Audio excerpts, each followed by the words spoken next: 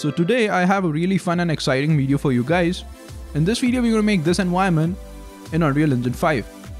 We're going to use a new plugin in this video. The plugin is called Dash. So Dash is basically a set of procedural level design tools which lets you create environments and levels within minutes. It's really cool, I would highly suggest you to check it out. Links are in the description. Before we start with the video, I would like to thank all the people who support the channel on Patreon. Thank you so much for your support, it really means a lot. If you want to support my channel, I'm going to leave a link to my Patreon page down in the description.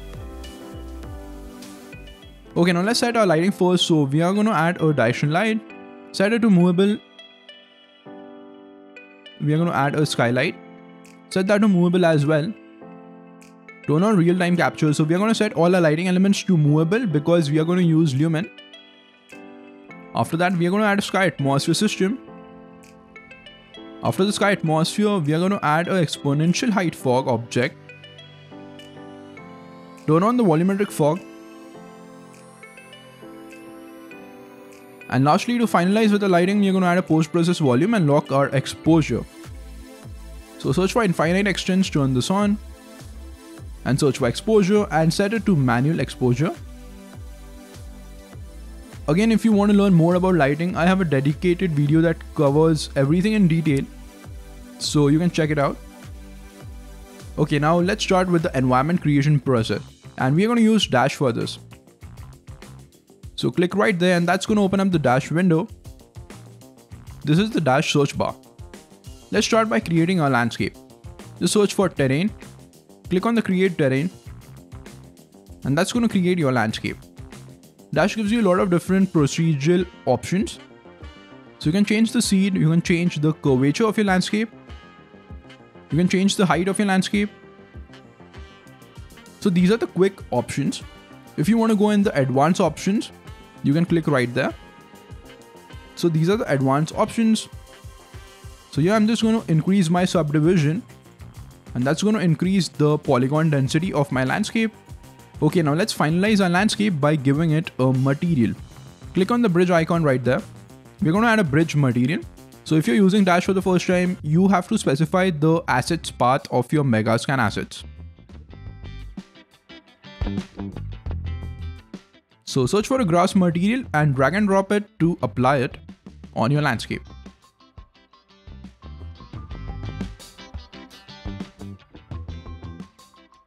Now if you want to make changes in your landscape, you can select your landscape and click right there.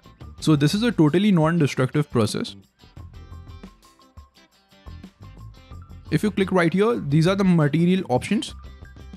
So you can change the material options. From here, you don't need to open up the material instance and this really speeds up your workflow.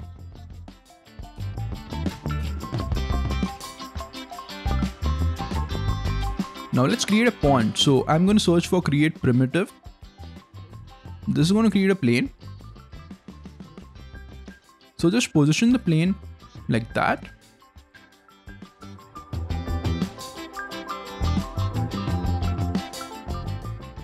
Select the plane, search for water, and we're going to give it a water material. This water material is totally customizable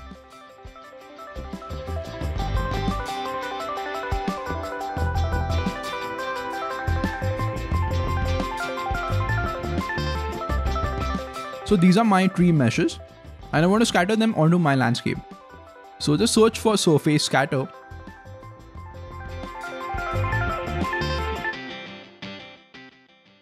So the surface scatter tool has two options, the surface which you want to scatter on and the scatter. These are the actual meshes which are going to be scattered. So select your tree meshes and press the plus button to add them in the scatter. Now select the landscape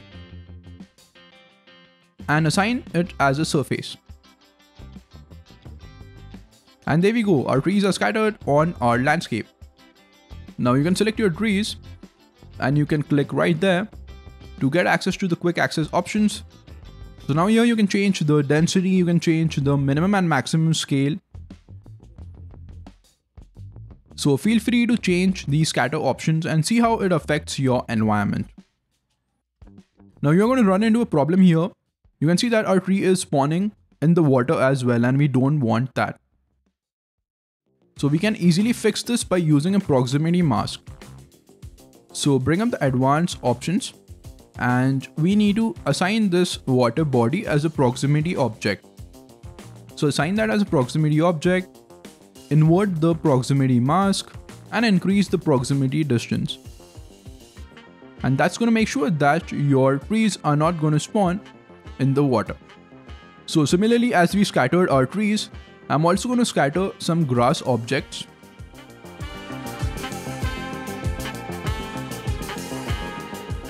the areas around a pond really feel empty.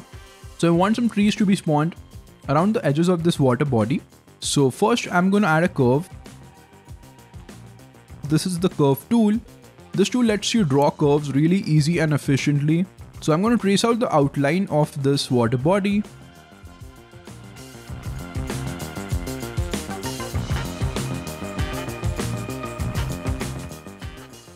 After creation of a curve, you can resample it so you can basically choose a number of points. Looks good. Now to spawn objects on our curve, we are going to use the path scatter tool. The path scatter needs two things, the path which is the curve and the meshes. So just select your curve and assign it in the curves. Select the tree meshes and assign it in the scatter. And that's going to scatter your meshes onto this curve.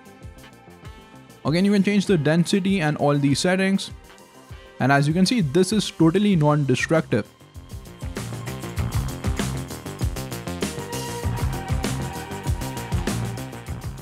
Using the surface scatter, I'm going to scatter some rock meshes on my landscape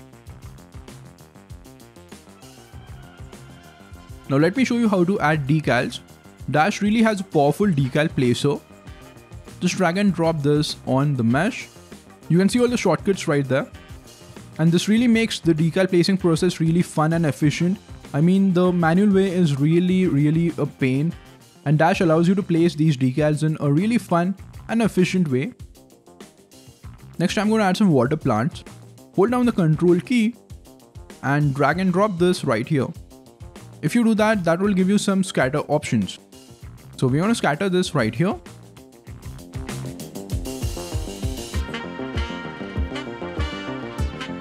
So now we have the grass material under the water which is not right. I mean that should have a different material. So let's fix that. Select the water plane and hide it. And we are going to simply place some Megascan assets under the water surface. And again, the mesh placing tool really speeds up our workflow.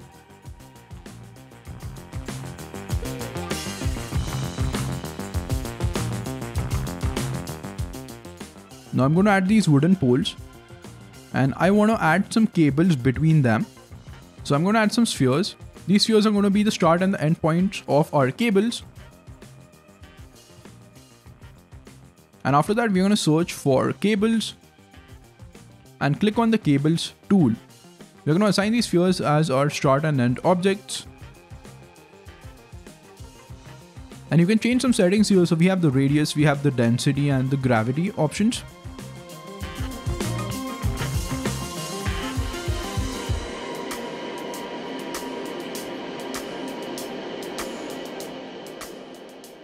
You can also assign a material to these cables.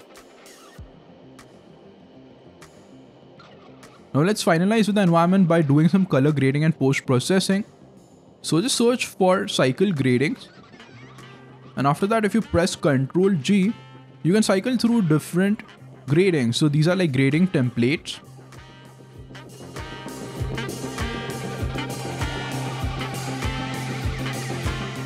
So as you can see how easy it is to make an environment using Dash. So I hope you learned something in this video. If you did, leave a like down below. Subscribe to the channel for more videos like this. That's it.